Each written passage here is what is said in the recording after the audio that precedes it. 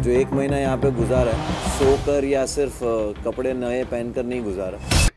Big boss में जैसे कि अब तक आप सभी ने देखा कि नॉमिनेशन टास्क हो रहा है, वहीं विक्की जिन सभी के सामने मुनावर को पूछते हैं कि वो अब तक अपने गेम के बारे में क्या सीखे हैं, तब मुनावर कहते हैं कि वो एक महीना यहाँ पे आए हैं तो उन्हें एक अभी विकेट कीपर की ज़रूरत है। जहाँ ये बात सुनकर विक्की इम्प्रेस होते हैं, अब देखना ये है कि क्या विक्की जे नॉमिनेट करेंगे मुनावर को और मुनावर किसे समझते हैं अपना विकेट कीपर इस गेम से आया था कि छठवा हफ़्ता आ गया है और सबको फ्रंट फुट में खेलना है उससे आपने क्या समझा?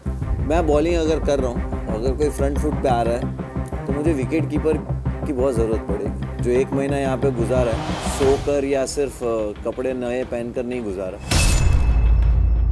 मुझे इसके साथ में नोक छोक करना बड़ा मज़ा आता है पता नहीं क्यों।